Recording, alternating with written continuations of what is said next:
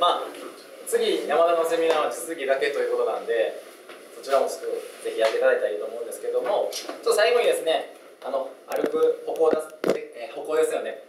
歩行だけちょっと話させていただくんですけども高齢者と若者の差って何かと言いますと結構この重心の位置とかも違います。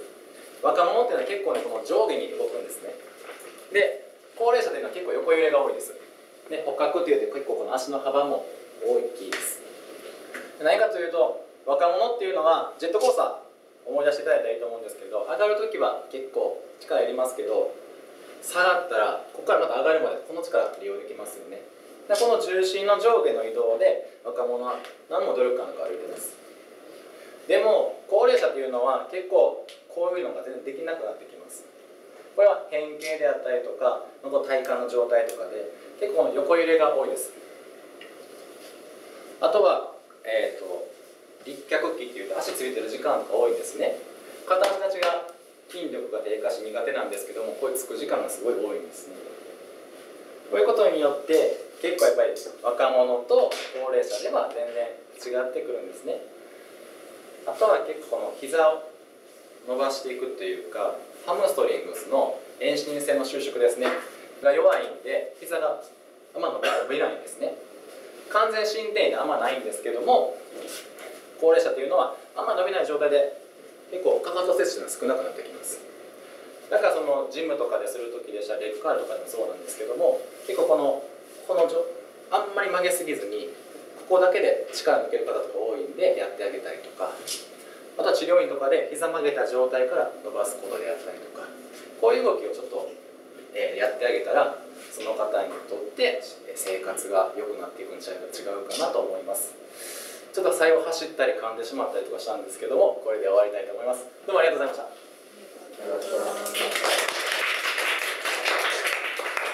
はい、えーお疲れ様でした。えー今からですね、えー約5分ちょっとで30、えーこの時計で7時35分から、えー次山田の実技を始めたいと思います。で、お手洗いなんですが、えー出られて壁突き当たり左に行かれましたらずっと行くとエレベーター1つ、エレベーターのところ右に2つへなります。では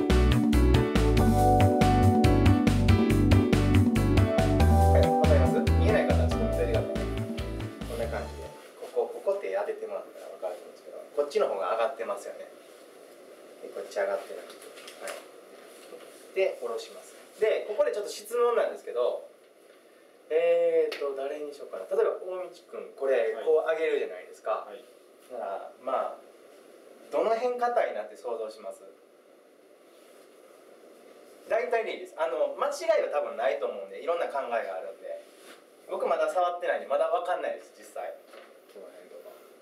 えー、っとどこですか？ここですか？はい。その理由は何かあります？いや上げた時に一応動いてるから。はい。他何かありますか？今日の自身はどこなんですあやっぱりかはい。上げに行く。えーっと辛いのがここなんですよ。はい。はい。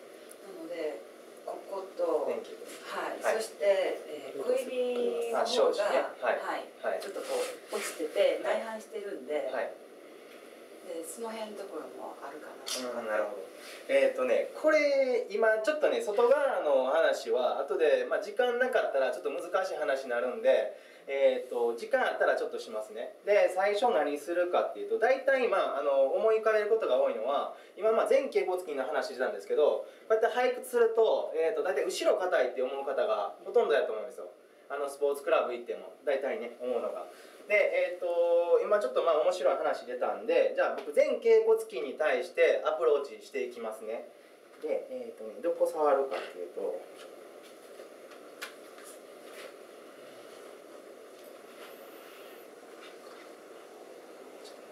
れはどうですか？これ痛い。やっぱりちょっと。こっちね、はい。ありますね。はいとまずね前脛骨筋をこう入ってますよね。こういう感じで。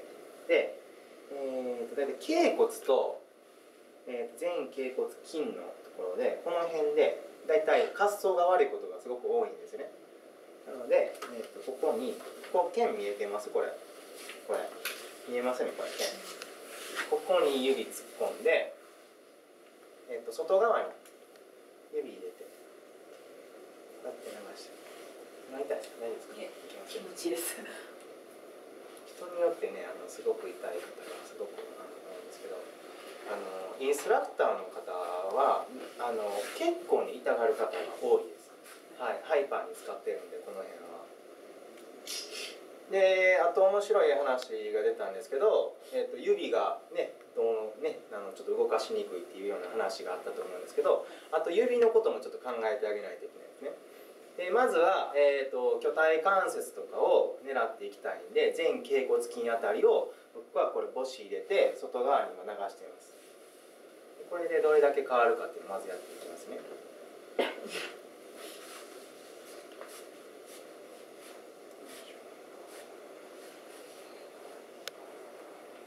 で、えっと、ちょっとこうやって動いてきたなと思ったら前後にこうやって動かしてます。はい。えっ、と収縮弛緩がしやすいように。ね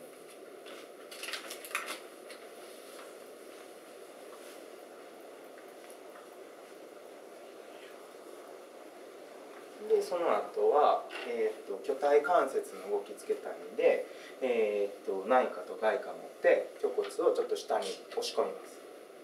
これまあモビモビライゼーションみたいな感じです。下に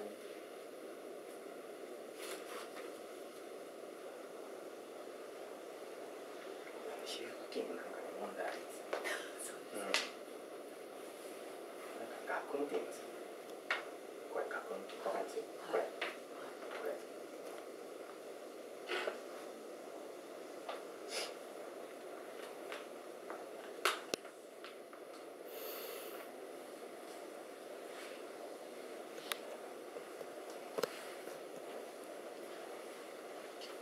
もう一回ちょっと上げるんですねはい上がってきましたねねこれでこれ上がりましたね、はい。これだけストレッチかけなくても上がるんです。わかります？えー、と裏側をストレッチしなくてもここに問題があるな。だからウェアですね。どこに問題があるか。いきなり、えー、とハウに行くんじゃなくてだいたい触ってみて僕はもう予想つけたんですけどパッて触って。あと僕気になるのは、えー、と外側の、えー、と腓骨筋腱とか気になります。でもっと言うとよいしょ。後でちょっと先にしても